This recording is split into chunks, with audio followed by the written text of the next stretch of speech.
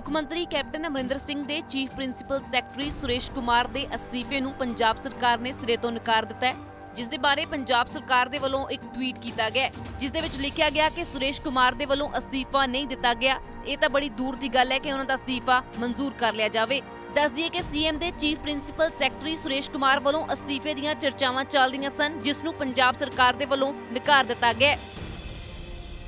bureau report Dainik Savera TV